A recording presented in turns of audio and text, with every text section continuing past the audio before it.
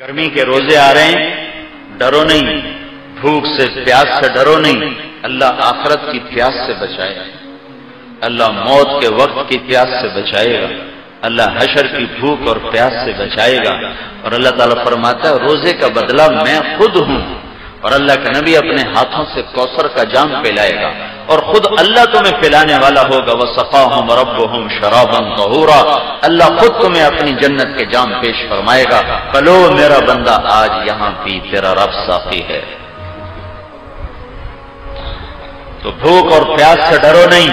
یہ میرے رب کی عطا ہے کہ وہ اپنے بندوں کو تھوڑی سی بھوک دے کر ہمیشہ کی بھوک سے بچانا چاہتا ہے. تھوڑی سی پیاس دے کر ہمیشہ کی پیاس سے بچانا چاہتا ہے. اور اپنے دل کو بغض اور کینے سے پاک رکھو کہ کینے اور بغض سے بھرا ہوا دل رمضان میں بھی نہیں اللہ کی رحمت کے سائے میں آتا۔ لڑے ہوئے صلح کرو، روٹے ہوئے مان جاؤ، ورنہ رمضان کی برکتوں سے محروم ہو جاؤ گے۔ چھوٹے پن جاؤ، نیچے جھک جاؤ، نیچے پڑ جاؤ۔ تاکہ اللہ پاک پچھلے سال کے سارے گنوں پر قلم پھیر رمضان کا مطلب ہے جل جانا، رمضان رمضان رمضان، یا رموزو جل جانا۔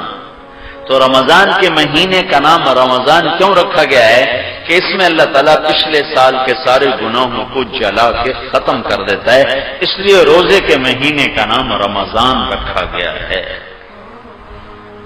تو میرے بھائیوں یہ اللہ کے دربار میں کمائی کا سیزن آ رہا ہے۔ رمضان، شہر و الذي انزل فيه القرآن۔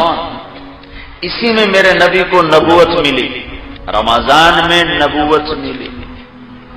تو بھائیوں یہ رمضان تھوڑا گرمی کا ہے۔ اگلے سال اور گرم ہوگا، اس سے اگلے سال اور گرم ہوگا۔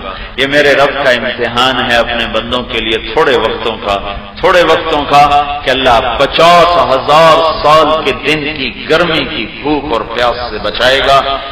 کان مقدار ہو خمسین الف سنہ، جس کی لمبائی پچاس ہزار سال کے برابر ہے۔